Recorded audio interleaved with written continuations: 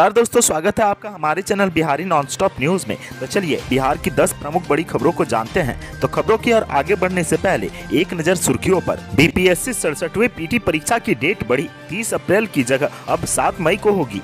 बिहार में साल में तीन से छह लाख आय वाले लोगों को मिलेंगे सरकारी फ्लैट। जानिए क्या है पूरी प्रक्रिया। ना हाईकोर्ट ने निकाली वैकेंसी। बारहवीं पास है तो बन सकते हैं स्टेनोग्राफर। एरियल सर्वे टीम की मदद के लिए भागलपुर पहुँचा दूसरा चार्टर विमान। गंगा नदी के दोनों ओर की जा रही है फोटोग्राफी। बिहार के पॉलिटेक्निक संस्थानों में इसी सत्र से हिंदी में होगी पढ़ाई। विभाग ने भेजा दिशा निर्देश। विश्व किडनी दिवस पर पारस एच हॉस्पिटल के मरीजों को किया गया प्रोत्साहित। डॉक्टर बोले, संयमित दिनचर्या ज़रूरी। इस वक्त की बड़ी खबर, यूपी में जीत के बाद बीजेपी बोले, मुकेश साहनी को मंत्री पद से हटाया जाए। बिहार में पर्यटकों को मिलेगी गोवा, चेन्नई जैसी सुविधा। बोले, मंत्री, मार्च तक तैयार हो जाएँगे कई नए स्पॉट। बिहार में जल्द होगी सीडीपीओ की बहाली। बोले, मंत्री मदन साहनी, आंगनबाड़ी केंद्रों के मुख्यालय स्तर से होगी जाँच। बीपीएससी की सड़सठवीं संयुक्त प्रारंभिक प्रतियोगिता परीक्षा की तारीख बढ़ गई है। अब यह परीक्षा 30 अप्रैल की जगह, अब 7 मई को होगी। परीक्षा का विस्तृत कार्यक्रम बाद में प्रकाशित किया जाएगा। मालूम हो कि 802 पदों के लिए यह परीक्षा होने जा रही थी। इसके लिए 6.2 लाख आवेदन आए हैं, जो पिछली बार से करीब दो लाख अधिक है। जानकारी मिली है की तीस अप्रैल को पूरे बिहार में नवोदय विद्यालय की परीक्षा होने वाली है। इस कारण बिहार लोक सेवा आयोग को पीटी परीक्षा का सेंटर बनाने में दिक्कत हो रही है। इसी इसीलिए यह तिथि बढ़ाई गई है। इससे पहले भी अभ्यर्थियों की बड़ी संख्या की वजह से 23 जनवरी को होने वाली परीक्षा को स्थगित किया गया था। आयोग के कई पदाधिकारी और कर्मी के कोरोना पॉजिटिव होने की वजह से भी इस परीक्षा में देर पर देर हुई है। महानगरों की तरह अब भागलपुर के शहरी आवासहीनों को घर देने की तैयारी चल रही है। इसके लिए भागलपुर नगर निगम ज़मीन की तलाश कर रहा है। कम आय वाले लोगों के लिए एलआईजी फ्लैट की तर्ज पर आवास बनाने के लिए भागलपुर जिला प्रशासन आधा एकड़ सरकारी ज़मीन की तलाश कर रही है। भागलपुर शहर में ज़मीन उपलब्ध नहीं होने के कारण नाथनगर और जगदीशपुर के अंचलाधिकारी को ज़मीन खोजने को जिम्मा दिया गया है। ज़मीन मिलने के बाद निर्माण की प्रक्रिया शुरू हो जाएगी। यह मल्टी स्टोरी बिल्डिंग करीब तियालीस हज़ार पाँच सौ 160 वर्ग मीटर में बनेगी, जिसमें community hall children park car parking खेल ग्राउंड मिनी हॉस्पिटल और छोटा बाज़ार भी बनाया जाएगा। यह घर उन जरूरतमंदों को मिलेगी, जिनके पास न ज़मीन है और न ही अपना घर। ऐसे मकानों के लिए कुछ शर्तें भी निर्धारित की गई है। ये मकान सिर्फ़ वैसे लोगों को मिलेंगे, जो पाँच वर्ष से ज़्यादा समय से शहर में रह रहे हैं और जिनके पास न तो अपनी ज़मीन है और न ही रहने को मकान। इसके साथ ही मकान पाने वाले लोगों को तीन से छह लाख तक आय होनी चाहिए। आवेदकों की संख्या को देखते हुए लॉटरी के माध्यम से मकान आवंटित किए जाएँगे। जरूरतमंद लोगों के चयन के लिए सर्वे भी कराया गया है।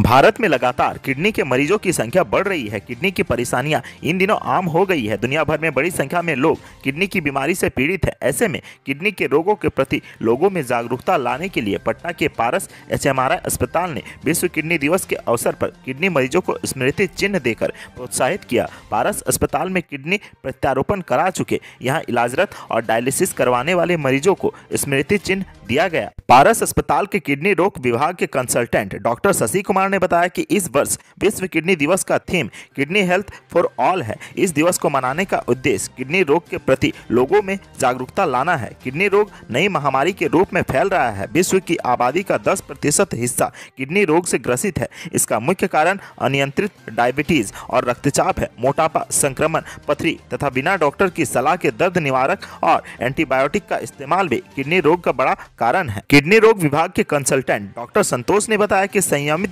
दिनचर्या, सही खान पान सीमित मात्रा में चीनी व नमक का सेवन तथा नियंत्रित मधुमेह एवं रक्तचाप ज़रूरी है। किडनी के रोग में, चेहरा, पैर में सूजन, भूख की कमी, मितली, उल्टी, कमज़ोरी, थकावट के लक्षण होते हैं। कभी कभी कोई तकलीफ़ नहीं भी रह सकती है। उत्तर प्रदेश विधानसभा चुनाव में जीत हासिल करने के बाद भारतीय जनता पार्टी के विधायक और नेता आगे बढ़कर बयान दे रहे हैं। उत्तर प्रदेश में बीजेपी को हराने का संकल्प लेकर चुनाव मैदान में उतरे वीआईपी अध्यक्ष और मंत्री मुकेश साहनी को जीत तो हासिल नहीं हुई, लेकिन बिहार में अब उनके मंत्री पद की कुर्सी खतरे में नज़र आ रही है। बीसपी से बीजेपी के विधायक हरिभूषण ठाकुर बचौल ने मुकेश साहनी को मंत्री पद से हटाए जाने की मांग कर दी है। बीजेपी विधायक ने कहा कि मुकेश साहनी हवा में चले गए हैं और अब अब आगे वह बिहार में मंत्री नहीं रहेंगे। बचौल ने कहा है कि मुकेश सहनी को मंत्री नहीं रहने देना चाहिए। उन्होंने कहा है कि हम उनकी पार्टी में अब तोड़फोड़ मचाएँगे। हम लोग पुरजोर विरोध करेंगे। बीजेपी नेतृत्व में मुकेश सहनी को मंत्री पद से हटाने की मांग करेंगे। बिहार राज्य के पर्यटन स्थलों पर पर्यटक गोवा, चेन्नई की तर्ज पर पारासल बोट जेट, अलैक और अन्य बड़ा छोटा बोट पैडल बोट का आनंद मार्च अंत तक ले पाएँगे। इसकी शुरुआत पश्चिमी चंपारण के अमवामन पर्यटकीय स्थल से करने का निर्णय लिया गया है। पर्यटन मंत्री नारायण प्रसाद ने कहा कि बिहार पर्यटन को आकर्षक बनाने तथा कुछ अलग तरह की अनुभूति कराने के लिए पर्यटकों को मनभावन, उपयोगी, आनंदित parasail boat, floating jetty, speed boat, jet attack, banana bumper समेत बड़ा व छोटा बोट का प्रयोग होली के बाद बेतिया के अमवामन झील से चालू होगा। पर्यटकों के सभी उपकरण 15 मार्च 2022 के बीच वहाँ पहुँच जाएगा। मंत्री ने कहा कि पहले प्रयोग के तौर पर अमवामन में आधुनिक उपकरणों का आनंद, पर्यटकों को उपलब्ध कराने के लिए बिहार राज्य पर्यटन विकास निगम, पटना के प्रबंधन निदेशक प्रभाकर को निर्देशित किया गया था। बिहार विधान परिषद में समाज कल्याण विभाग के मंत्री मदन साहनी ने कहा है कि पश्चिमी चंपारण के ठकहारा, पिथहा, बगहा सहित अन्य जगहों के आंगनबाड़ी केंद्रों की जाँच मुख्यालय स्तर पर होगी। अगर इस निरीक्षण में सदस्य भी जाना चाहें तो वह जा सकते हैं। उन्होंने कहा कि सीडीपीओ की रिक्तियों को भरने की कार्रवाई हो रही है। राज्य में पचपन सीडीपीओ के पद खाली है। इसकी बहाली जल्द होगी। लोक सेवा आयोग में प्रक्रिया शुरू हो चुकी है। मंत्री ने कहा कि पद रिक्त होने के कारण एक सीडीपीओ को अधिक जगह के प्रभार में रहना पड़ता है, लेकिन इससे केंद्र के संचालन पर कोई असर नहीं है। सभी केंद्र सही ढंग से चल रहे हैं। बावजूद इसके, अगर किसी भी सदस्य किसी केंद्र की जानकारी देना चाहते हैं तो हम उस केंद्र की जाँच भी ज़रूर कराएँगे।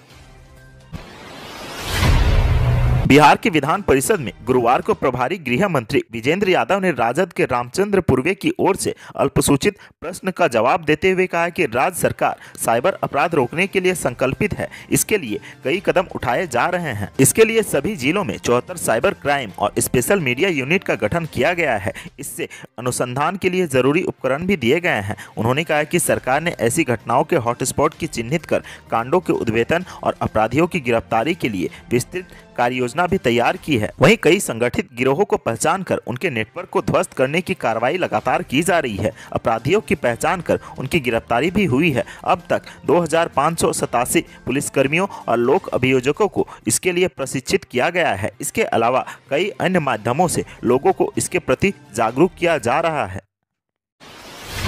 गया पंडित दीनदयाल उपाध्याय रेलखंड पर गुरारू रेलवे स्टेशन के समीप गुरुवार की सुबह लूप लाइन पर बम मिलने से हड़कंप मच गया। कहा जा रहा है कि बंद के दौरान नक्सलियों द्वारा इस घटना को अंजाम दिया गया है। सुरक्षा बलों द्वारा बम को डिफ्यूज करने के बाद लोगों ने राहत की सांस ली। इस दौरान करीब पौने चार घंटे तक रेल लाइन पर ट्रेनों का आवागमन प्रभावित रहा। भाकपा माओवादी ने गुरुवार को मगध बंद का ऐलान किया था। इस बीच सुबह दस बजे पटरी पर बम मिलने की सूचना पर रेलवे अधिकारियों में अफरा तफरी मच गई। तत्काल दोनों तरफ़ से ट्रेनों का परिचालन को रोक दिया गया था। गुरारू रेलवे स्टेशन के समीप लोप लाइन की पटरी पर रखे काले रंग के प्लास्टिक बम में दो तार निकले हुए थे। सूचना के बाद मौके पर टिकारी डीएसपी गुलशन कुमार के अलावा गया आरपीएफ के कमांडेंट मनोज कुमार चौहान रेल थानाध्यक्ष Santosh Kumar Singh, Rafiganj post inspector R N Murmu, sub inspector Indal Kumar Mandal सहित एसटीएफ व सीआरपीएफ की टीम पहुँच गई। इसके कुछ देर बाद बम निरोधक व डॉग स्क्वाड टीम भी पहुँच गई। बम निरोधक दस्ते के पहुँचने के बाद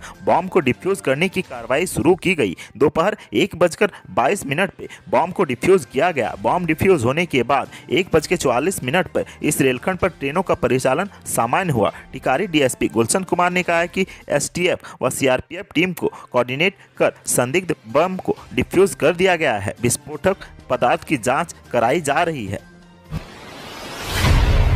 बीते 28 फरवरी से 6 मार्च तक चलने वाली गंगा नदी बेसिन का एरियल सर्वे का काम रविवार को पूरा हो गया है। इसके बावजूद भागलपुर हवाई अड्डे पर सर्वे टीम की गतिविधियाँ जारी रही। हवाई अड्डे पर 10 दिन पहले पहुँचे चार्टर प्लेन में मंगलवार को उड़ान नहीं भरा। वहीं एक और दूसरा चार्टर प्लेन मंगलवार को भागलपुर के हवाई अड्डे पर लैंड किया। सूचना मिली है कि सर्वे ऑफ़ इंडिया की टीम के सपोर्ट के लिए दूसरा विमान ज़रूरी सामान लेकर पहुँचा है। सर्वे अधिकारी रघुराम वर्मा ने बताया कि भागलपुर के बाद अब पटना रीजन के गंगा बेसिन में एरियल सर्वे शुरू होगा। भागलपुर रीजन का काम पूरा हो गया है। पटना रीजन में दूसरे विमान से सर्वे होगा। पहले विमान का मेंटेनेंस के लिए कोलकाता भेजा जा रहा है। इस विमान से कोलकाता रीजन के गंगा बेसिन में शेष सर्वे का पूरा काम किया जाएगा। एरियल सर्वे के दौरान गंगा नदी समेत इसके दोनों ओर 10 किलोमीटर तक फ़ोटो लिया गया है। बीते एक सप्ताह के दौरान भागलपुर, मुंगेर, खगड़िया, नवगछिया, अनुमंडल, कटिहार, पूर्णिया, साहिबगंज से सटे गंगा बेसिन का एरियल सर्वे किया गया था।